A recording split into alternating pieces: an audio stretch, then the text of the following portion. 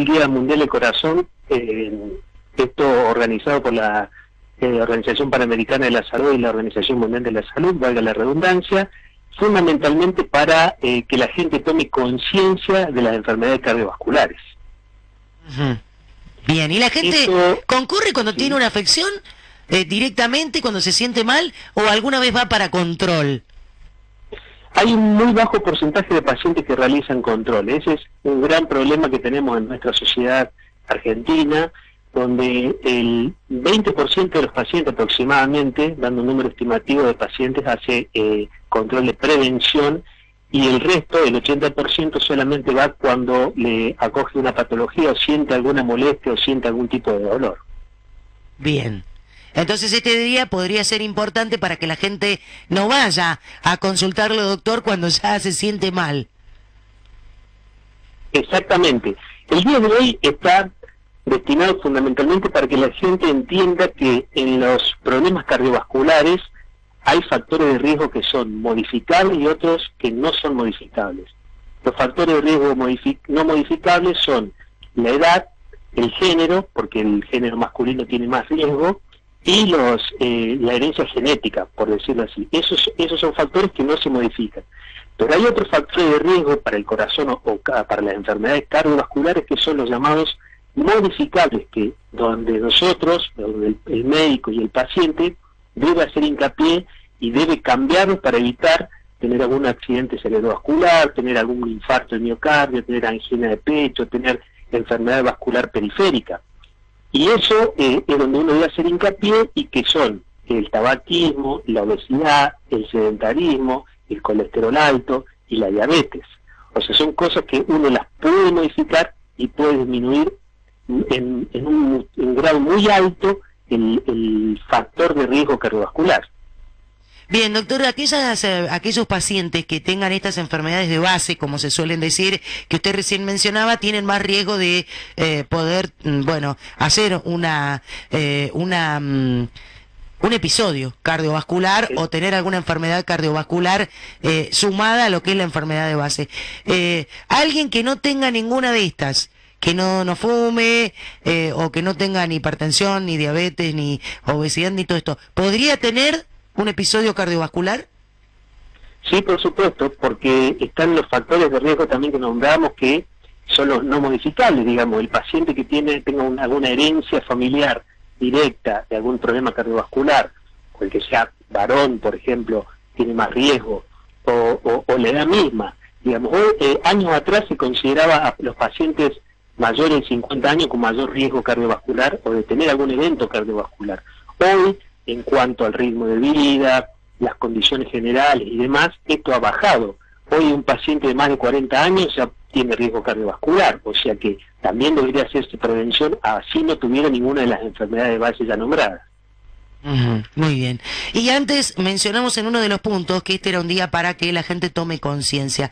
Eh, ¿Hay una estadística de cuántos cuántos pacientes eh, bueno, consultan eh, como para hacer un control, los que habitualmente uno debiera recomendar, no sé si es cada seis meses o cada un año, y los que llegan ya con, con la patología, doctor Fuentealba? Y eh, nosotros en nuestro país las estadísticas son muy pobres, digamos, pero es muy bajo el porcentaje del paciente que concurre para hacer prevención. Eh, es más el que llega ya con la patología instaurada que aquel que va preventivamente a realizarse algún control. Eh, es una pena que eso ocurra. Todos debemos hacer, bueno, hincapié en que uno debe ir al médico antes de enfermarse, debe ir para prevenir. Exactamente, o sea, eh, digamos, eh, está el dicho común que dice más vale prevenir que curar, pero eso realmente uno debería aplicarlo a la medicina. Y lamentablemente nosotros en, nuestro sistema, en nuestra sociedad, tenemos muy aplicada la medicina curativa y no la preventiva. Por más que uno haga hincapié en los pacientes que se hagan prevención y todo lo demás, no lo tenemos instaurado porque no lo no está no está preparada nuestra sociedad de chicos para hacer esto, pero eh, todo esto, todos estos días, por ejemplo el día de hoy, con todos los, todos eh, las campañas que se realizan para prevenir enfermedades, no solo las cardiovasculares, el resto también, son lo mejor que nos puede ocurrir eh, a nosotros los médicos y a los pacientes también, por supuesto. Bueno, eh, ¿cada cuánto hay que concurrir si uno eh, estuviera en una situación de efectuar un control? Preventivamente el paciente se debería hacer un chequeo una vez por año.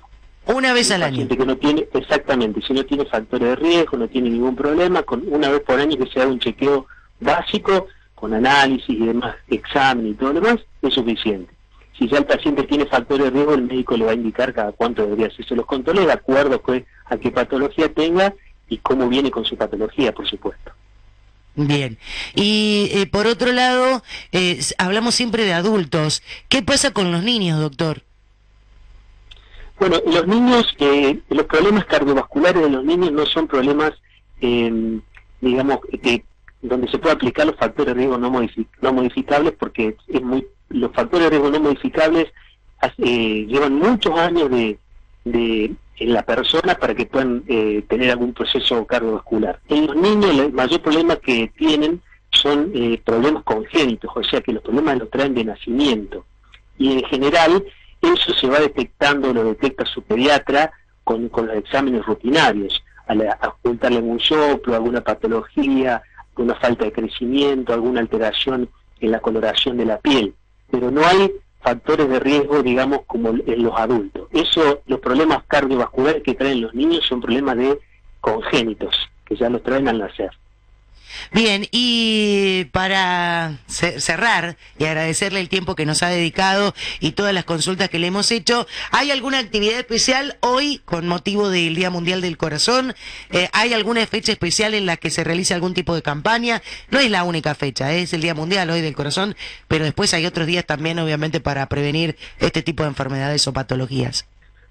Y nosotros habitualmente eh, no tenemos una fecha determinada, pero una vez por año hacemos eh, una campaña de prevención de hipertensión, con toma de presión arterial y demás, que es una de, las cosas más fáciles de hacer y que eh, conlleva un riesgo alto y que la gente en general desconoce ser hipertenso porque como la hipertensión no da ningún tipo de síntomas, el paciente anda por su vida cotidiana con hipertensión arterial y lo desconoce. Entonces, una vez por año se pone una fecha determinada que se va a, realizar generalmente a fin de año como campaña de prevención, pero que es una de las patologías más frecuentes y que menos síntomas da.